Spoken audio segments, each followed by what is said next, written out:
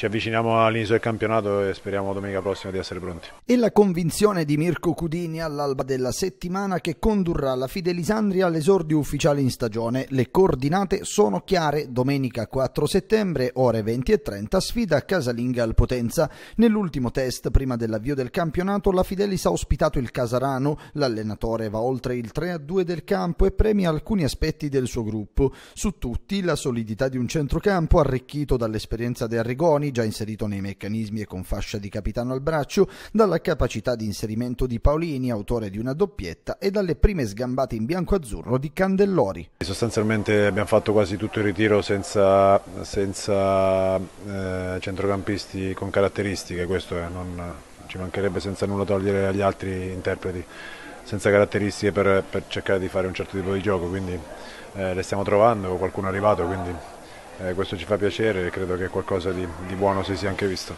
Dopo un precampionato in modalità cantiere aperto con i pareggi contro Barletta e Nardò e il KO contro il Brindisi, l'Andrea di Cudini inizia a prendere forma, effetti di un calciomercato che ha quasi totalmente cambiato i connotati dell'organico e che dovrebbe assicurare altre novità nelle ultime ore di trattative. Finalmente siamo venuti a, a giocare nel nostro campo, eh, quindi già questa è una buona emozione e sicuramente un buon sintomo anche di responsabilità.